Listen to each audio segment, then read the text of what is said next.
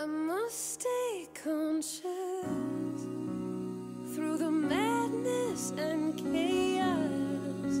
So I call on my angel. Good morning, everybody, and it is Tuesday, and um, I got a um, camera stand for my makeup event, wedding event that's happening in January. I don't really talk about like my my everything outside of my health with you guys. And I did start a makeup channel years ago and I think I stopped it like after the video like video for. But anyway I needed a stand. Plus it helps for moments like this where I don't have to hold it or I don't have to find a spot in the room where it's like perfectly in height. Um, so that's what I'm using right now just to see how it works. And it works and it's perfect for $13 anyway um, first I want to say that today is starting positive most part.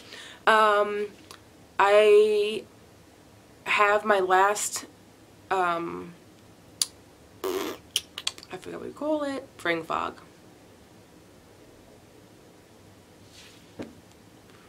Allergy testing today. Um, it's going to be for like smoke and fragrance, etc. And hopefully they won't tell me what the doctor told me yesterday and that was, there's nothing we can do, just go home and waste all the time and, and energy, you know, on doing nothing but traveling. Gizmo, stop. He's looking your cam my camera right now. Like, he's looking this part. Can you just chill? So, um, I don't want to keep this long, but basically, I'm doing that today, and that's about it. I was supposed to have acupuncture, like now, actually hours ago at 8 o'clock. That's about 50 minutes away one way, and then have to go back to the same location, only a mile apart at 3 o'clock for my, my uh, testing. So I said, I'm not doing both. Um, so um, I just got another infusion box uh, that was outside. I don't know why they didn't just knock on the door. Like, it's outside, it's like 20 degrees. This could have froze and this would have went bad. So I'm a little disappointed in them. In them. Um, so I'm going to open this. But my doctor, I've been trying to reach my doctor for months. Um, I'm trying to make this as short as I can, and I swear short is never short enough. And um, I was trying to reach my doctor for the past like month since I've had home infusions, trying to figure out why they changed my liter once a week to 500 milliliters once a week. Then um, back and forth, they're like, well, we have to do what the paperwork says when they transfer it over. And they're like, it doesn't make sense because when you get transferred over, it's the same information you were getting at your, your infusion center, at the cancer center. So, oh my god, my camera's gonna die like any moment. Go Gizmo, I have to do this. Okay, so um, we had to do that. I've tried to reach the doctor for a month. I've spoken to about 20 nurses. I've called about 20 times. The doctor, um, the nurse called me last night, finally, the actual nurse that I'm supposed to speak to, and he says that he's going to re-text the doctor, re-message him. The doctor actually spoke to me this morning about an hour ago and says he does not want to do a port surgery or port. He does not want to do a PICC line. He doesn't trust it. He doesn't feel comfortable doing it. I would have to find another doctor elsewhere to do that. But that doctor would have to also treat my POTS. He can't do, he can't treat it and have another doctor who's going to do the surgery and, and does it. So um, I'm probably going to do that. I thought this doctor was the perfect doctor. I loved him. He actually trusted me and listened to what I had to say about doing infusions when no other doctor wanted to do it. So I'm sad that I have to now find a new doctor, but I'm going to do what I got to do. But he did agree to do the one liter. He doesn't know why there was a mix-up, and we're going to increase it to twice a week. That was before I ordered more infusions last night. So now this is 500. So I'm going to hopefully let them let. I'm hoping they're gonna let me keep it. And then if I need an extra boost, then I can use it. But these go bad after I think two weeks. So I don't even know if I can use them unless I use them this week, including the the one liter twice a week. So I don't know. But there's other stuff in here I have to use like just other stuff. Um, like kits and, and, and needles and things like that. Um, next thing is he did say something that really hurt my heart, and that was that he feels that I am not going to have enough fluids and that I'm going to ask for more and and fluids is not going to be enough like I'm going to I'm going to keep asking for more. I forget how exactly he worded it up until about a second ago, but I knew exactly how he said it and he it was one sentence and was uh Sarah, but I do feel that this is not going to be enough and you're going to ask for more. Like nothing is going to be enough, something like that. And I go, that's not true. And he was like, this is just how I feel. I just, I, you know, I've seen all your messages. You've been calling a lot and you've been trying to like change your, your, your infusion number, etc. I'm like, that's because I can't reach you guys. I'm very, you know, I'm a self-advocate. Like it's been a month, and that's how long you guys like, and that's what 20 messages. Imagine if I called you once, would it taken you four months to call me back? So when he said that, I knew right then and there this is not the doctor for me. Um, plus, he did say that if I wanted the port, Gizmo, you're moving my camera. If I needed the port, that um, that I would have to find a doctor anyway. So that's what I'm gonna do. But in the meantime, um, as of uh, like 40 minutes ago, I don't even know, he said he's changed the my um, prescription to twice a week, not once a week, and to one liter like it was instead of 500 liters, which becomes, you know, because it only lasts about three days. So that is a positive, and I'm just gonna have to get. I was gonna get poked now twice a week, which sucks. That's why I wanted a port. But since a port, uh, PICC lines or not pick lines, but a peripheral needle goes in, it it's um it expires. It goes bad after like seven days. So my nurse my nurse is gonna come here every Monday as normally and insert it, get it all set up, and then I will take it out, clean up as I've been doing. She doesn't stay the whole time, and I'll keep the needle, in until my second dose um, within the week, and then I will set up for the first time. So I never have to set up, so she's going to have to teach me that, and then I'll take it out um, as I normally do. So instead of getting pricked twice a week, because I'm getting it twice, we're just gonna keep the line in. So that's perfect. And yeah, so I have to go charge my charge my battery so that I can record the rest of the day. But today's gonna be a really blah day, minus going to that one appointment for um, brain fog again um, for allergy. And uh, oh, guess what I'm wearing on my feet? Remember these guys? I love them. Okay, and uh, yeah, so I'm gonna do some research on more doctors. It took me about I don't know. I keep switch. I sw I keep switching how long or changing the time limit of how long it took me to find this doctor.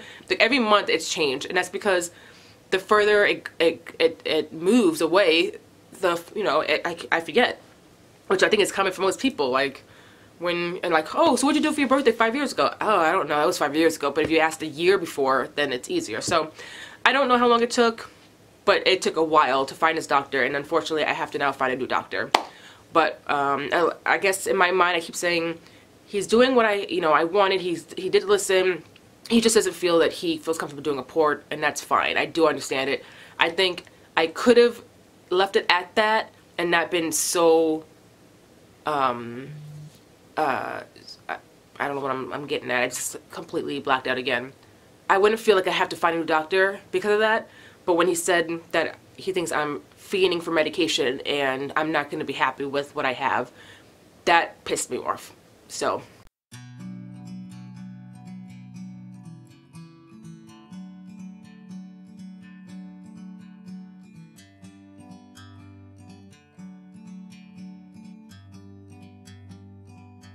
like a bird on a tree.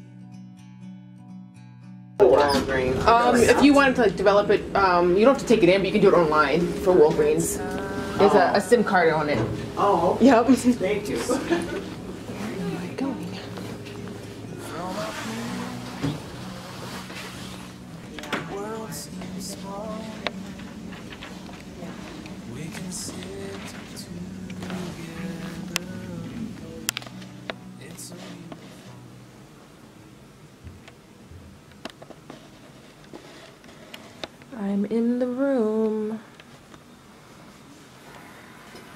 So I'm really nervous because the nurse who came in, wow, my hair is crazy, was like, so we're here to look at a rash, a rash, right? And I'm like, no, and I pretty much like rolled my eyes immediately because I swear the last few times I see a dermatologist or allergy doctor, their note says that I have a rash.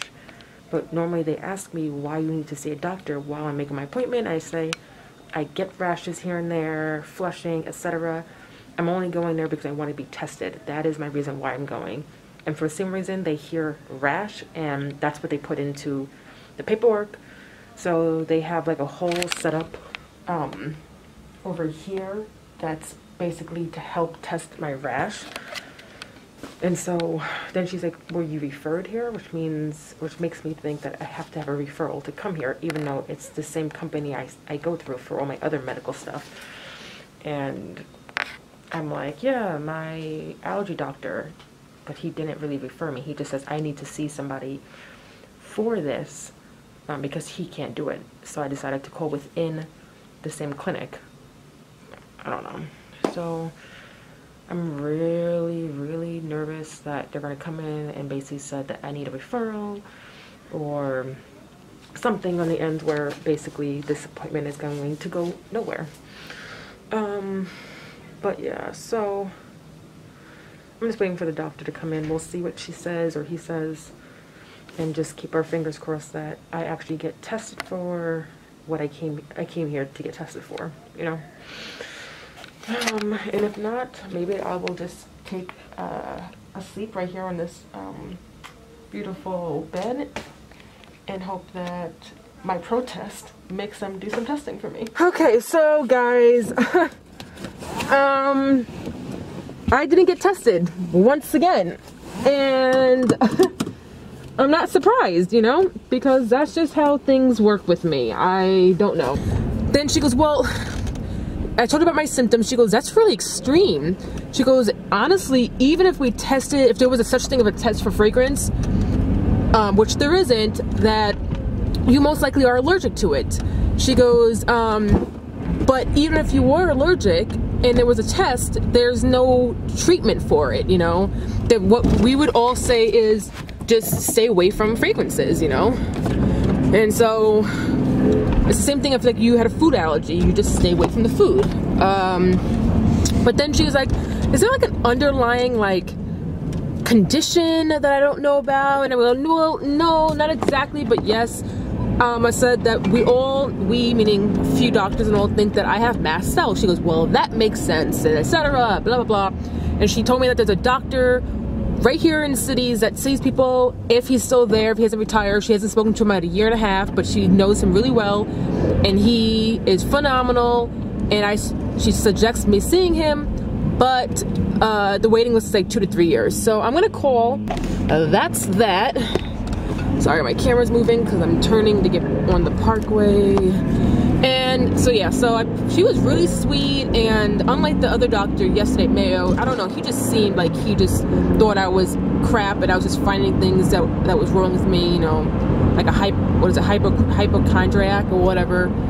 But she was nice and she was sweet and she was like, we will test you if you want for, you know, for like topical stuff like lotions and things. And I go, no, she goes, I just don't want to waste your time because it's gonna be, it's, we have to do patches, like a patch, um, um, testing and it takes about five days.